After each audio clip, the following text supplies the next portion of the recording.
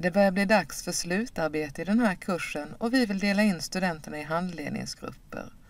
Så jag klickar på personer och så lägger jag till en ny gruppsammansättning.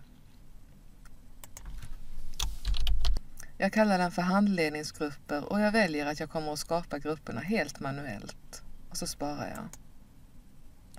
På fliken handledningsgrupper klickar jag på plustecknet för att lägga till handledningsgrupperna.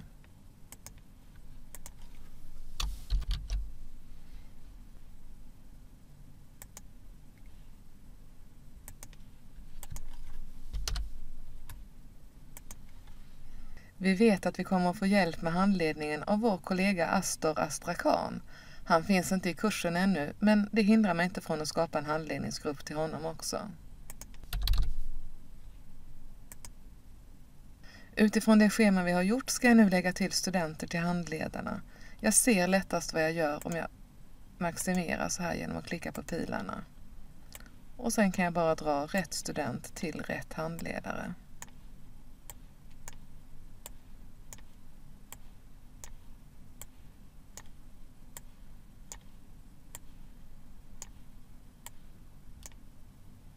Alla lärare i kursen får automatiskt tillgång till alla grupper och det innebär att när Astor väl har kommit in så kommer han att komma åt sin grupp. För att komma åt en grupp som lärare så klickar man på personer och på rätt flik och så väljer jag att jag vill besöka min grupp. Här är det ju nu väldigt tomt och jag skulle kunna välkomna studenterna genom att skriva ett välkomstmeddelande.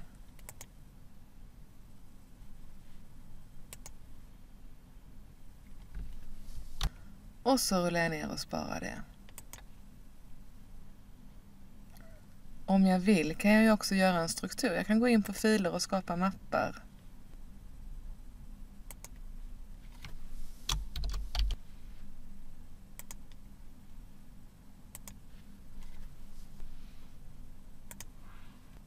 Jag skulle kunna göra på det här viset eller skulle jag kunna göra en mapp för varje student. Studenterna kommer att kunna läsa varandras arbeten inom handledningsgruppen. Så funkar det helt enkelt.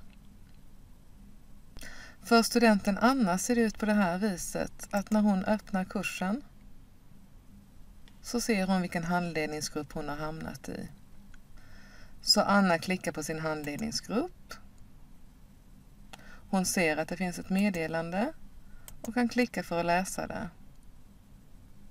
Och Anna vill väldigt gärna ladda upp en fil så hon klickar på filer och klickar på mappen för halvfärdiga arbeten och väljer att ladda upp sitt arbete. Så här långt är ju allt frid och fröjd. Det är enkelt att skapa grupper och det är inga inställningar av behörigheter eller någonting sånt att förhålla sig till. Utan studenterna får automatiskt rätt att ladda upp sina filer och de får automatiskt rätt att ställa frågor via diskussioner och skriva meddelanden. Nackdelen är att det syns inte speciellt tydligt att det har hänt något i gruppen. Och därför kan det vara praktiskt när du jobbar med handledning att du ställer in så att du får lite fler aviseringar. Så jag tar och går upp på mitt konto och mina aviseringar. Här hade jag tidigare ställt in att jag ville ha minimalt med mejl från Canvas.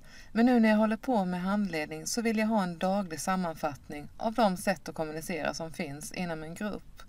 Så då bockar jag för daglig sammanfattning på filer, på meddelanden och på diskussioner och diskussionsinlägg. Det här innebär att jag kommer att få den här informationen från samtliga kurser och grupper, men bara en gång om dagen.